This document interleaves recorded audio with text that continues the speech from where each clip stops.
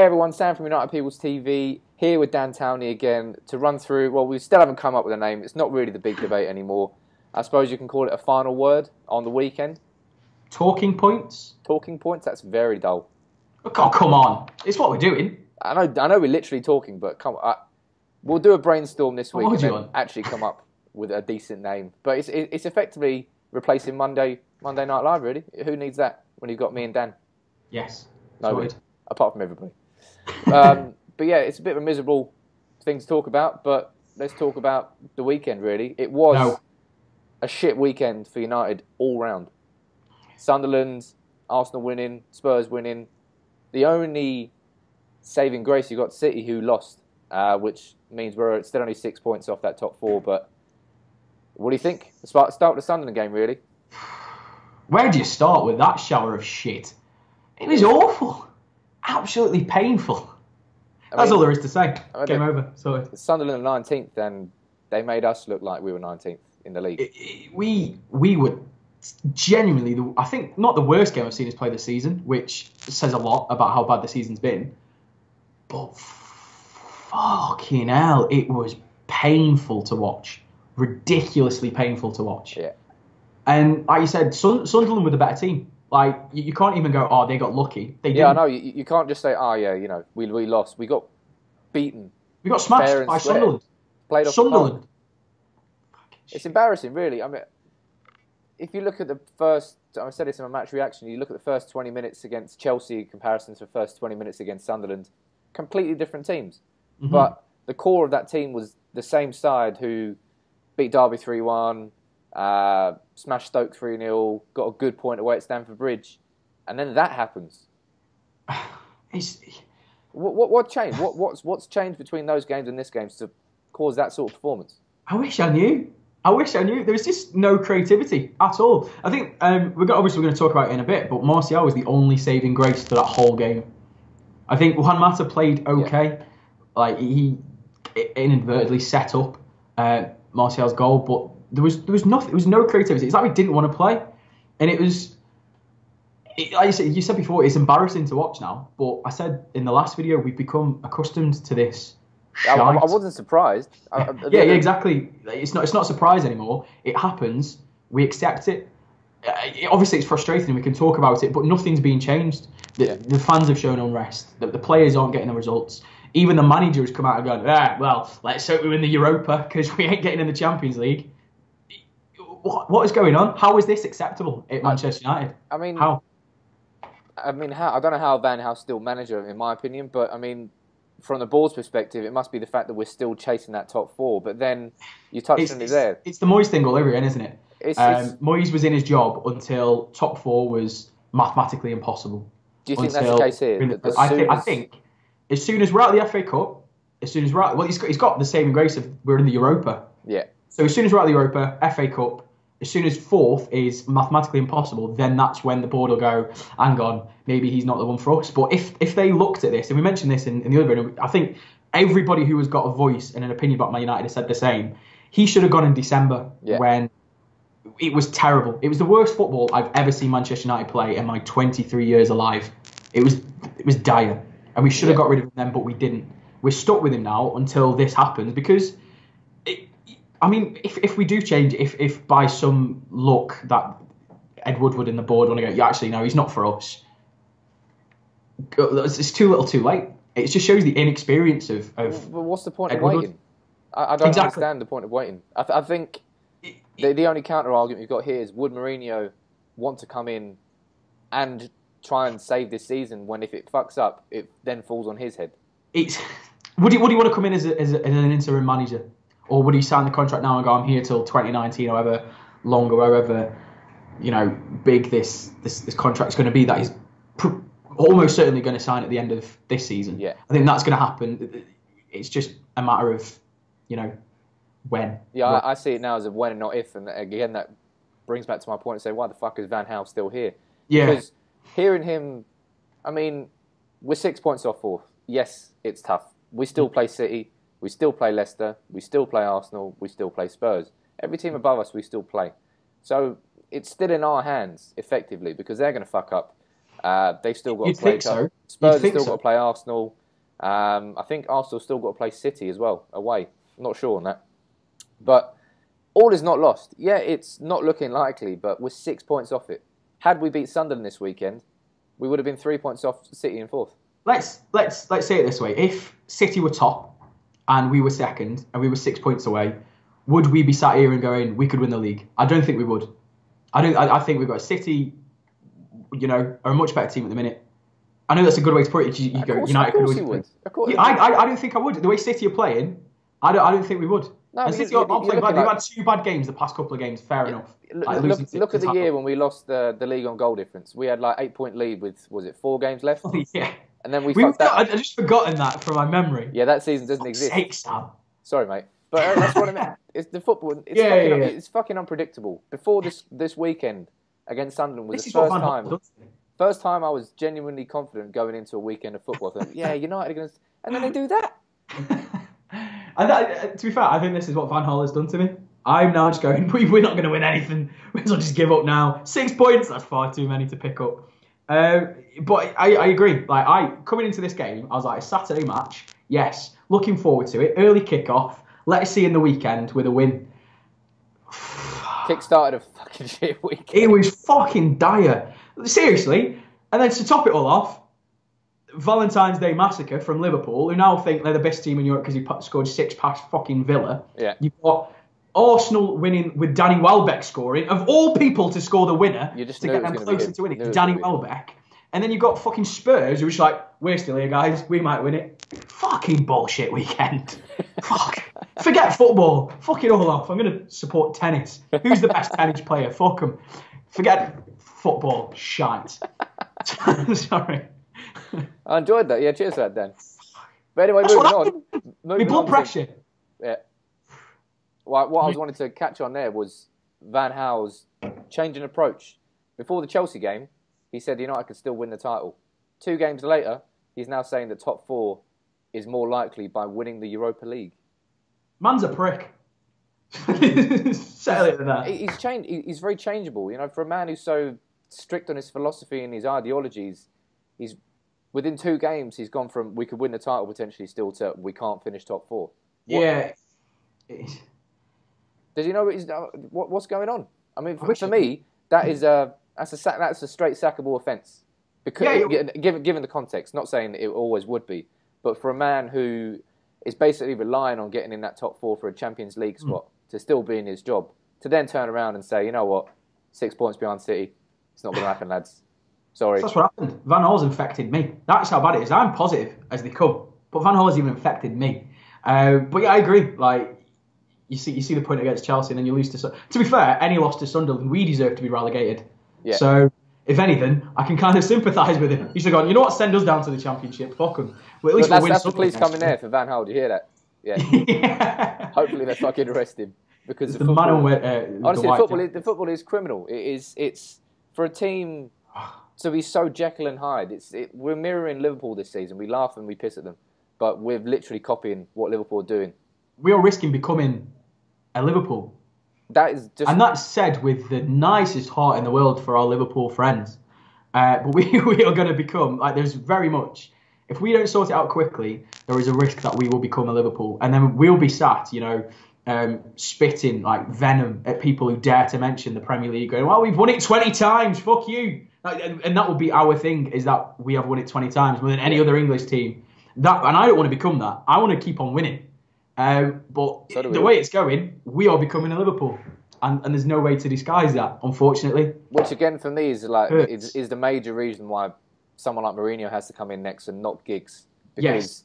I personally think this managerial replacement is more important than replacing Fergie Mm-hmm. because I think that was a poison chalice. I think whoever came in there would have struggled and yeah, it would have been nice to carry it on, but it didn't. And three years down the line, we, nothing much has changed. We've lost a bit of our identity, but now we're at a crossroads where if we go one way, we go back to winning. The last Mm-hmm. three years are a blip. If we go the other way and we make that a six-year period, that's hard to recover from. Yes, very much so. Very, you kind of hit the nail on the head. We, it needs to change, and quickly. And everybody can see this. Everybody in football can see this. Some people won't want us to change because they will want us to see Well, Yeah, it's, it's, become you know we're like Rodgers Yeah. at Liverpool, Moyes at United, team Exactly. play, fans of other teams do not want that manager to leave because they can see the manager is holding them back and, yeah, and be in the shackles, and it's and it's great fun to poke and laugh at. yeah. But It's- that's what that's what United have become. They've become a fucking laughing stock. It's a And scary position to be in. It's very It's a scary. I very mean, what- scary position to be in. obviously, we've got some positive news today. It is positive. Uh, they're renaming the South Stand uh, Sir Bobby Charlton Stand. Rightly so. Let's look at this with a cynical point of view. You know, it's not as if Bobby has just popped out the corner. Why are you announcing that now? I mean, Yeah. it does seem a bit. Let's get the fans back on our side. And then I've, I've seen a, a couple of people suggesting because obviously Bobby Charlton's part of the old guard. Him, Fergie, and Jill. There's the reports of a few weeks ago were saying that they didn't want Mourinho in as manager. Yeah. Is that is that enough for Bobby? I can imagine that's definitely something Manchester United would do. We're going to bring Mourinho in, but we'll fucking name a stand after you. How's that? Fuck it. You know what? You know what? We'll even name a meal after you in the Red Cafe. How's that? So Bobby Bobby's Burger. Burgers. Fuck it, we'll have you. Just to bring Mourinho in, we'll have Bobby's Burgers in this, uh, you know, fucking Charlton stand. But yes, it, it's very strange timing. I mean, I, I completely agree with it. Having Sir Bobby and Sir Alex with a stand and a statue each, deserved, absolutely deserved. Just seems very strange to pop that yeah, out on a I Monday can't think morning. of anyone better. Deserves a stand, to be fair. Yeah, Um, but like you said, it is far too convenient for, uh, for, for for them to do it after we've just lost to, to Sunderland, and there's all this talk of the, unrest at United with the manager kind of you know not being the best. yeah. It's it's it's far too like- convenient to just go have that, guys. There you go. Have that bit of positivity in your lives, and you're like, no, please just give up. It, it, it, it, it does. It feels like a press release. Um, yes, yeah. I'm not gonna slam it down because I do agree no, with it. I, I it's it's a great idea. Bobby deserves but- it. as you said, it's very much a sweetener to go. We're sorry. have this, sorry, Bobby." this, yeah, have this spoonful of sugar to help that Mourinho-sized medicine go down, because uh, we ain't changing it. Sorry.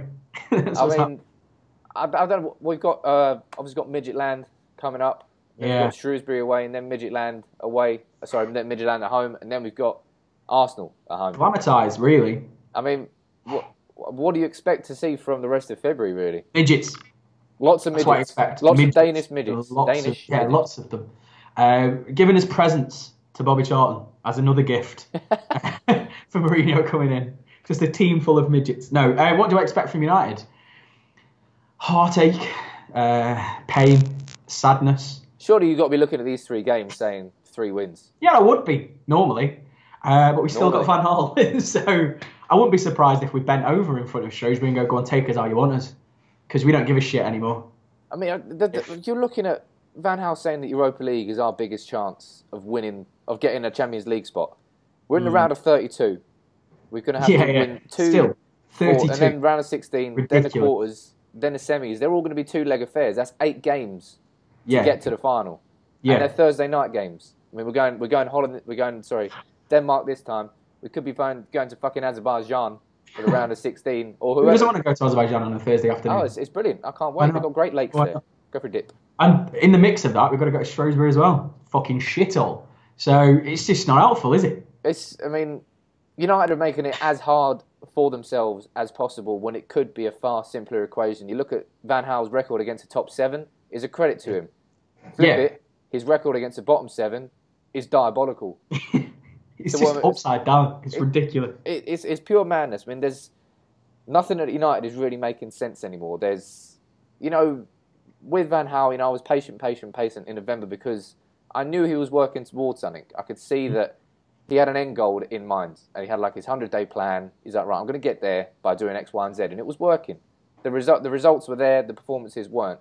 You were thinking, right, if we're winning whilst playing this bad, imagine what we'll do when we start playing well. You know, you saw that Everton away. That was a that was a mint game, but we hit December, and then since then it's just like United's been deflated and haven't been able to recover.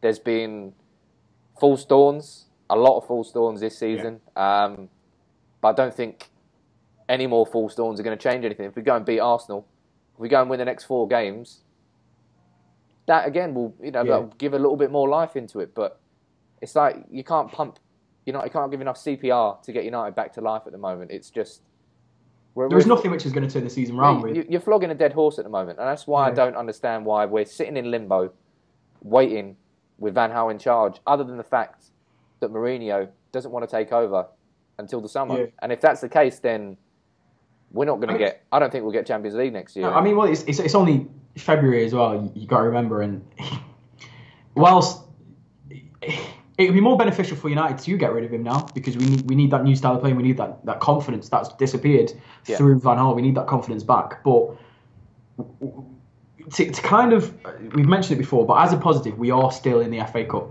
and Yeah. that is, you know, um, you've got Chelsea playing Man City. So one of what we perceive as our big rivals is Yeah. going to be out. That, that's that's the way we can look at it. And we have a real chance of winning the FA Cup this year, Been which would time. be nice. Which Been would be nice. Um, and the way we've been playing in the cup, you know, that's that's not out of the question. But that's not enough to appease the fans. I don't think we need Champions League football at Man United. We went a season without it, and it was the worst season ever. Being that average season, just going ah, no no European football. It's, it's- all it's- it's- you can concentrate on the league. if you look at two out of three of United's last three seasons, they're complete and utter write-offs. Yeah. Like I'm not going to fucking buy the highlights DVD this season. I definitely didn't buy it for more years. And it's just, are we that fucking bad without Fergie? Really? I know it's it's ridiculous that we're in this position because we knew we wasn't going to last forever, and it just it's just behind the scenes stuff as well. And we mentioned this last week, the behind the scenes side of it. Yeah. We didn't plan we didn't plan for Fergie to to, to finish his career. We we were like, well, shit. We were expecting to be around forever.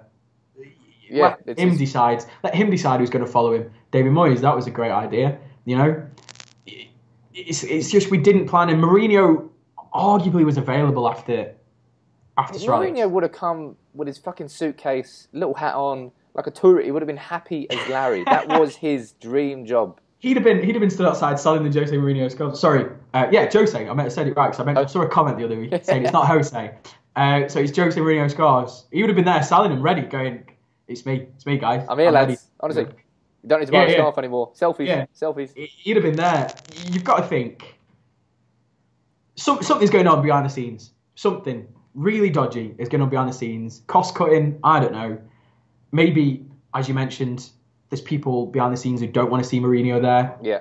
They were holding out for so long and going, look, Van Gaal is probably the last chance before we get him in. Yeah. Um, it, it's it's depressing to think that whoever it is back behind the scenes or whoever's there making the decision has let the club get into this position before getting somebody who will change it. Yeah. But And it's it's ridiculous, absolutely ridiculous that it has been left this long. And when you think about it, it has been three seasons, three three whole seasons just of shite. Three seasons of of what? Like there's there's you got Evra Evra against Bayern. That was fucking wicked. yeah, Um, beating Liverpool home and away. You know, doing a double double. Uh, that's been Yeah. good. Yeah, Beating City at home. Yeah, there, there are some some good flavors. There's a couple of good memories, but they're saturated by the bullshit. Uh, Yeah. And, and the stuff you really don't want to remember. There's too much of that. it's like the, the tiny specks of gold flaking inside shit. that's that's that's the best way to describe it. Is there's gold in there, but not enough. It's still a pile of shit. You still you, you got you got to be wading your way through it. Yeah, you've got to wade through and have like an extremely good, powerful magnifying glass to see the tiny bits of gold through all of the shit that has happened at United. That's the way it's been. But I mean, for me, um, the season it's the season's not done. But I think it is. Can we just finish the season? Fuck 'em. I mean, we still play City with six points. But we, we're gonna, we're chasing the tails of top four. We Yeah, finished fourth last year. Invested a lot in the team, a lot in the squad, and we've gone backwards. Um, again, that's that's an indication of failure. Is to what we're trying to achieve under Van Gaal. I don't think it's salvageable now. I think No. if it if it was salvageable, we would have seen again. We would have seen it like Stoke, like Chelsea. We're thinking, hell yeah, we're starting here. yeah, Then we go Sunderland, and it shows that it's not. It, it, it, there's no cohesion. There's there's no real belief in the players. I mean, we're all laugh, we're all taking a piss at Van Gaal and pointing our fingers at Van Gaal. Players have got to take a lot of responsibility for that as well. Oh yeah, the players are shite, but there's only so much you can do in the with the tactics that you're given, Yeah. and it shows their professionalism in a way. I'm not defending the playing staff because they are, you know, about as as much to blame as as Van Gaal. Yeah. Um, but it shows their professionalism that they stick to the philosophy, to the tactics. Yeah. It looks like to the letter, despite how much it must kill somebody like Wayne Rooney to not, you know, well, I say smack him from distance. He hasn't been doing that for about three years anyway, so it doesn't really matter. But somebody like Mike Martial, who I imagine he's a, by far our standout player, and the, again, again, probably a bit bigger than a flake of gold. He is a, a nice chunk of gold of this this shit that we faced. He's he's unbelievable, and to have a player like that look so, you know, look like he's been held back in a way. And the, the, the weird tactical changes or the weird formations that we're playing and the weird positioning of the players just confuses the shit out of me when Yeah. you can see that some of them are glaringly obvious things that you could change. Yeah. And and this obviously while whilst you can blame the players, but they they can only play in the positions in the in the tactics that they get told to Yeah. or else it goes down in his little notebook and then he'll mention it you know it- it- and that's not it's not how football should be run and it's not how football should be played. And i think this this tactically rigid or this this kind of cocky way that van Gaal plays himself you know rooney Yeah. came out and said we just need to take the shackles off. And and van Gaal disagreed with him straight away. He's like no we don't. The way we've been playing is, is quite fine. And then the next game we fuck it up. Yeah. it's just it, it's so painful to watch. And like we said at the beginning we've accepted this now. We've accepted these Well, because you know, it- you know, it's going to happen. A loss now isn't surprising.